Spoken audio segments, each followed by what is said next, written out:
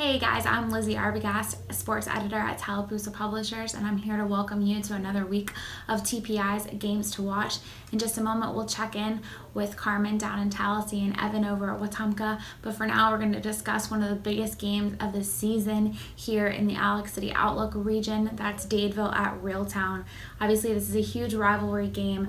Dadeville got off to a great start last week. Reeltown falls her just a little bit, so it's going to be really interesting to see how this plays out.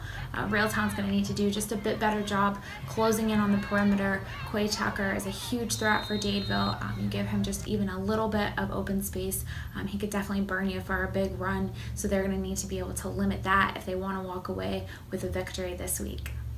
This is Carmen Rodgers with Tallapoosa Publishers, bringing you this week's game to watch.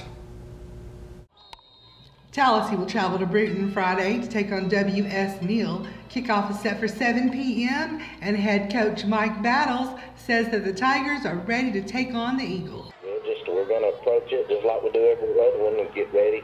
You know, we've already looked at them this morning on film. We're fixing to go out and practice and try to get all the pieces of the puzzle put together and put them out there on Friday, and if our kids will, you know, you usually make your most improvements from game one to game two. So hopefully we'll correct a lot of the mistakes we made and quit, you know, doing things to hurt ourselves and, you know, get a little bit better each week. Our game to watch this week is Stanhope Elmore at Prattville.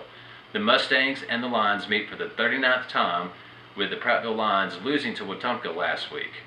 Great game, rivalry game. Um, you know, it's one of those fun things that, you know, we can get two teams that this close together, just, you know, love playing each other. It's always going to be nasty. It's going to be raining, so it's going to be a good ball game. We hope you have a good week, and we look forward to seeing all of y'all this Friday.